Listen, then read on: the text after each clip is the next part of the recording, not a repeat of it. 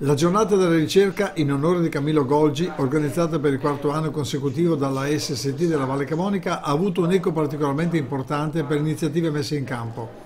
Spicca per l'alto valore scientifico e per l'impegno profuso la qualità e lo spessore delle ricerche di otto giovani medici che operano negli ospedali di Esine e di Edolo, condotte con preciso rigore scientifico e già diventate patrimonio della comunità internazionale. Ricerche presentate con perfetto stile tipico della comunicazione scientifica nell'aula magna dell'ospedale di Esine, con una platea di uditori di primo piano, tra cui tutti i primari degli ospedali e tanti colleghi specialisti in diversi campi. Eh, questa considerazione credo che sia condivisibile da tutti, questi due ospedali, Edolo e Esine, eh, sono degli ospedali dove viene fatta una elevata attività quotidiana di elevato livello scientifico e un'attività di ricerca di primo ordine che abbiamo visto in questa giornata ha a che fare con le eh, diverse specialità che riguarda i giovani che si danno da fare in questo ospedale e che vengono pubblicate su delle riviste scientifiche internazionali di elevato impatto. Questa giornata della ricerca che la direzione